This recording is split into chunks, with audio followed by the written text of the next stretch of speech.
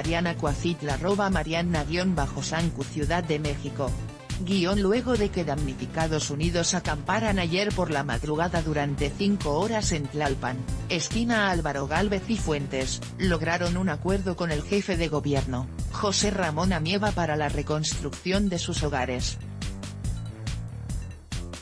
Los afectados por el sismo del multifamiliar Tlalpan y del grupo damnificados unidos aceptaron retirar sus carpas tras dialogar con el mandatario capitalino, quien asumió el compromiso de que se aprobarán los fondos para la reconstrucción de la Ciudad de México.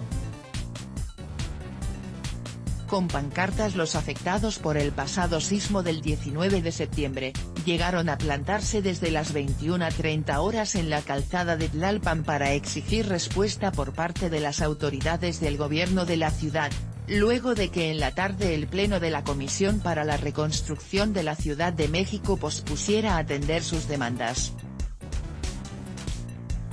Al lugar de la protesta llegó José Ramón Amieva quien le reiteró su apoyo y precisó que la próxima semana presentará un esquema de distribución de recursos, que sea equitativo y proporcional para que todas las personas tengan acceso a los fondos reconstrucción.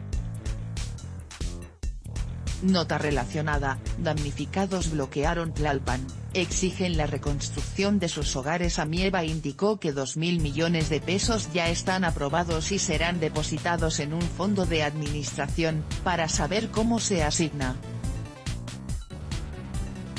Finalmente, en la asamblea de los afectados y el mandatario capitalino se acordó que el próximo viernes 1 de junio, en sesión extraordinaria la Comisión para la Reconstrucción, discutirá la fórmula financiera para determinar los montos de ayuda y forma en se apoyará a cada una de las personas afectadas.